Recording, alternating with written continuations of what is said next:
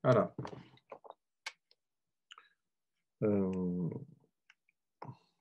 masterclass.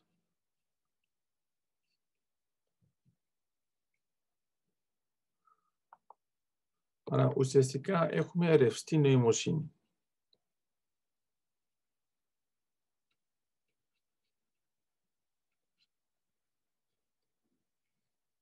Άρα, ρευστή νοημοσύνη, θα την γράφω έτσι.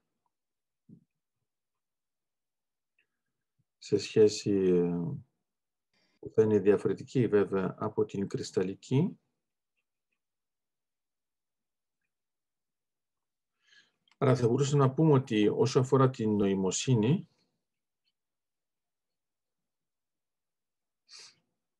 που θα μας οδηγήσει στην σκέψη, άρα εδώ ουσιαστικά στο Masterclass θα κάνουμε τι, θα, θα χρησιμοποιήσουμε πολύ σκέψη για να κοιτάξουμε την νοημοσύνη. Άρα έχουμε ένα σύστημα που είναι αυτοαναφορικό.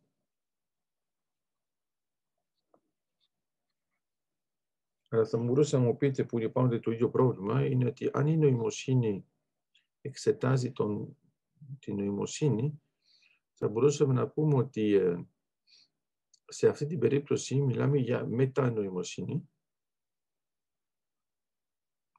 Εντάξει. Γιατί άμα δεν το καταλαβαίνουμε με την πρώτη, ε, σκεφτείτε ότι όταν χρησιμοποιούμε τη λέξη μεταμαθηματικά. Άρα τα μεταμαθηματικά είναι τα μαθηματικά που κοιτάζουν τον εαυτό τους μαθηματικά πώς λειτουργούν. Εδώ λοιπόν θα έχουμε την νοημοσύνη που κοιτάζει την νοημοσύνη πώς λειτουργεί. Θα είναι λοιπόν μια ειδική περίπτωση της σκέψης, όπως μπορούμε να πούμε ότι ε, και εδώ έχουμε μια ειδική περίπτωση, εντάξει, για άλλες σκέψεις, εδώ θα είναι ουσιαστικά τι, της ε, δομικής σκέψης.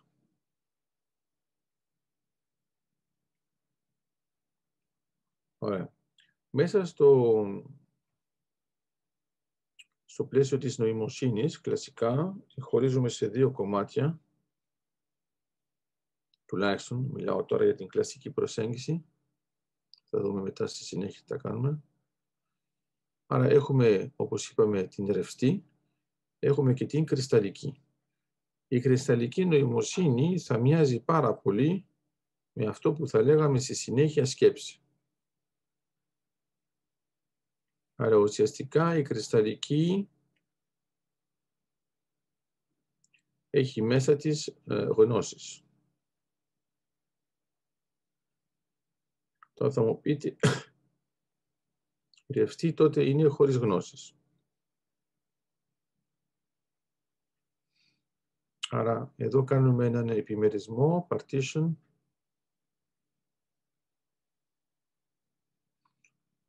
για τους πιο πληροφορικά, θα καλό να κοιτάξετε τι γίνεται ουσιαστικά με το ROM και το RAM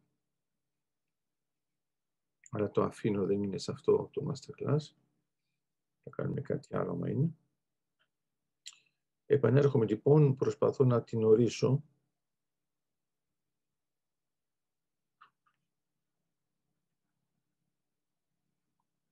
Άρα ένας τρόπος ε, να την ορίσουμε είναι μέσω της μέτρησης. Άρα η μέτρηση θα είναι και ουσιαστικά στον ορισμός Κλασικά στην Ελλάδα χρησιμοποιούμε την έκφραση δίκτυας νοημοσύνης. Είναι βέβαια το IQ.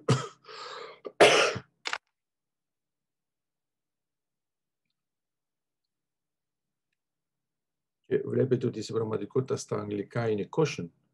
Αλλά τέλος πάντων, ας πούμε ότι αυτό είναι το ανάλογο. Εδώ θα είναι τα τεστ νοημοσύνης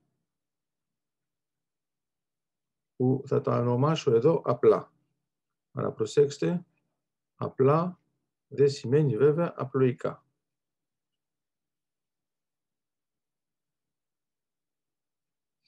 Εντάξει. Ε, ενώ όταν θα κάνω και την κρυσταλλική νοημοσύνη, εδώ θα πάρω τα super test που λέμε εμείς,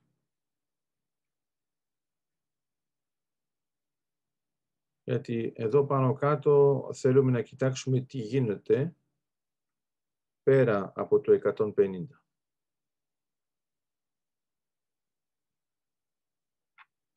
Άρα, κλασικά έχουμε ένα standard deviation το οποίο ανάλογα με τις μετρήσεις μπορεί να είναι 24, 16, 15. Άρα εδώ θα είμαστε σε Κάτελ, εδώ θα είμαστε σε Stanford Binet και εδώ θα είμαστε σε Βέσλερ. Πολύ συχνά ε, όταν μιλάμε για το Βέσλερ θα μας δώσει δύο πράγματα. Θα έχουμε το Waze και τους ενήλικους θα έχουμε το Whisk. Άρα συνήθως τρία. Τώρα όμως να ξέρετε ότι υπάρχει και το τέσσερα. Άρα ουσιαστικά αυτά που θα κάνουμε τώρα ε, θα αφορούν και τους μικρούς ανθρώπους και τους κλασικούς ανθρώπους και τους μεγάλους ανθρώπους γιατί ουσιαστικά θα ασχοληθούμε με τι, με τον πυρήνα.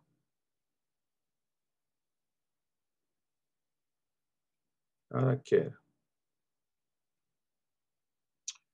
Είναι λίγο πιο δύσκολο γιατί συνήθως είμαστε στο image με την εικόνα και δυσκολευόμαστε με τον πυρήνα. Είναι πολλά πράγματα που βάζουμε στον πυρήνα και μετά καταλαβαίνουμε τελικά ότι ε, δεν έχουν ε, νόημα άμα δεν έχουμε κάποιες γνώσεις. Άρα θα μου πείτε τι είναι να μην έχω καθόλου γνώσεις.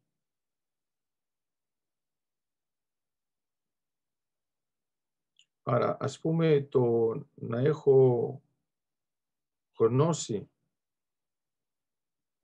ότι δεν έχω γνώση, όπως θα λέει ο Σοκράτης, μπορεί να λειτουργήσει Προσέξτε, αυτό λοιπόν θα είναι μία μεταγνώση. Άρα η πρώτη παρατήρηση που μπορούμε να κάνουμε είναι ότι άμα πάρετε την νοημοσύνη μόνο σαν πυρήνα, ε, θα έχετε ένα επλογικό μοντέλο